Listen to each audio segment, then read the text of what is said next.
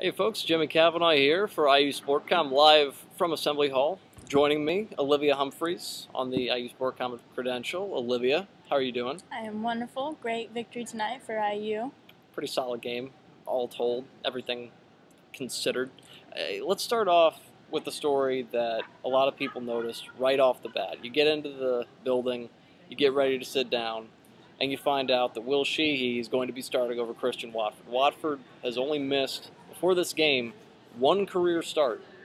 Uh, totally different for him to come off the bench. Just talk about what we saw from Will Sheehey in his starting role, what we saw from Watford off the bench, because both those guys delivered in a big way tonight. They uh, they really did, uh, especially Will Sheehey. He was very impressive. He's kind of been on the down low lately, not scoring as many points. I think he had 19 points coming in uh, before this game off of the first two games, and uh, Christian Watford had 21 points coming in.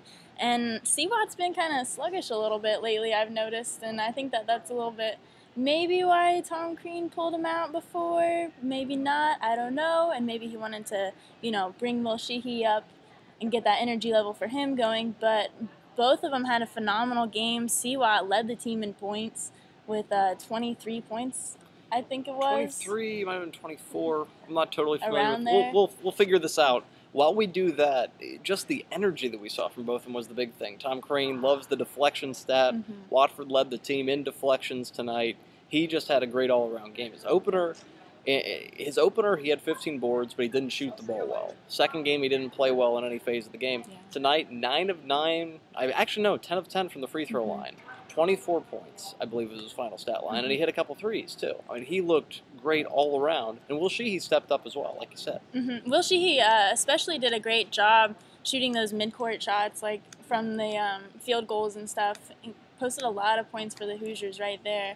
I think he had 18 points on the night, around there, um, just shy of you know his points that he had coming into this game, which is really impressive for him. But uh, like you said, Christian Watford was the was the main star of tonight. I would definitely say with as many points as he had, as well as his defense that he provided for the Hoosiers. We're talking individual stars right now, but if we want to switch the topic over to defense, a team oriented thing, which the Hoosiers had struggled with a little bit. Uh, they, they played well enough to beat their first two opponents, Bryant and North Dakota State, rather soundly, but they didn't play as well on the perimeter defensively as you might have liked to see.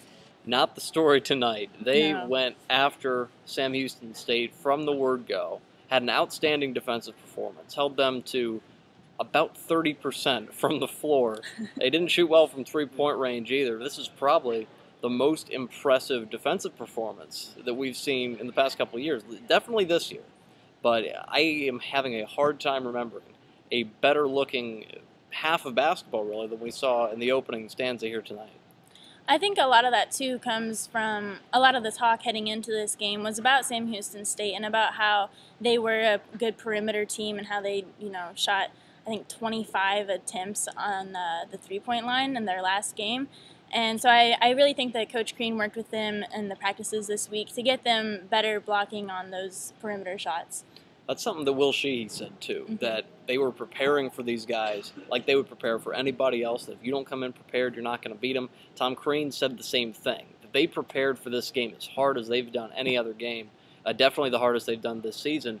It showed off on the floor, not, not only on the defensive side, but offensively as well. These guys had 99 points tonight. And here's another fun little stat for you: the most efficient points per possession night of the Tom Crean era just an all around outstanding night. Nearly 60% from the floor. Just everyone hitting on all cylinders, balanced scoring, nothing that you wouldn't expect from this team. Just everybody playing to their full potential tonight. And it, it was very impressive. I mean, I think we had every single player on our roster come out and play. Um, Taylor Wayer got time. Ta- Taylor Wayer did get time. I know you were pushing for him to get time, I, I love me some Taylor Wayer. No lie.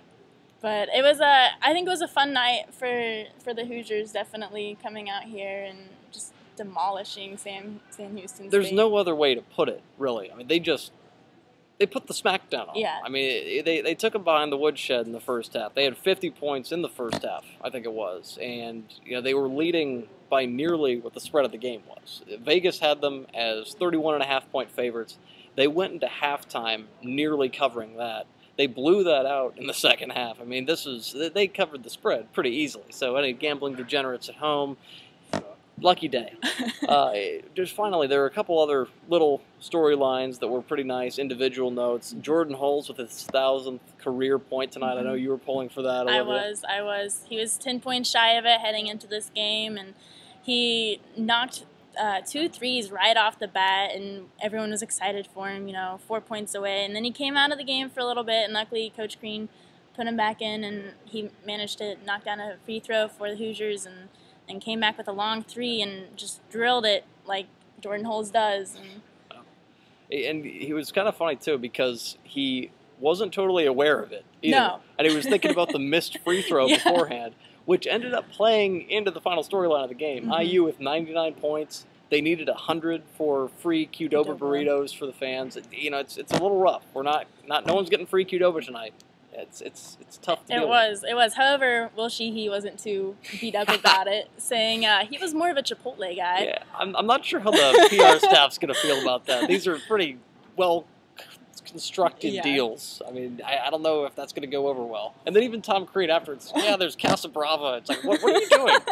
You're talking about all these different Mexican joints. Can't go wrong with Mexican in Bloomington, is what he said. That's that, that's a good take. We, we might as well end there. End there. Any, Yeah. any no, no final thoughts? We're just going to end on Mexican food. Mexican food. I mean, I am a huge fan of Mexican food, and Bloomington does have an excellent choice. Yeah, all right, that, that'll do it. That'll do it for us. I'm Jimmy Cavanaugh. She's Olivia Humphreys. Thanks for joining us, folks. We'll catch you next time. Uh, we will actually have some folks covering the game, uh, the pair of games in Brooklyn at the Barclays Center, either uh, both Georgia and either Georgetown or UCLA. Josh Hanser will be there covering that for us. Be sure to keep an eye out for some outstanding content coming your way. That's all for us. Good night. Travel well. Thanks for watching, folks. We'll catch you next time.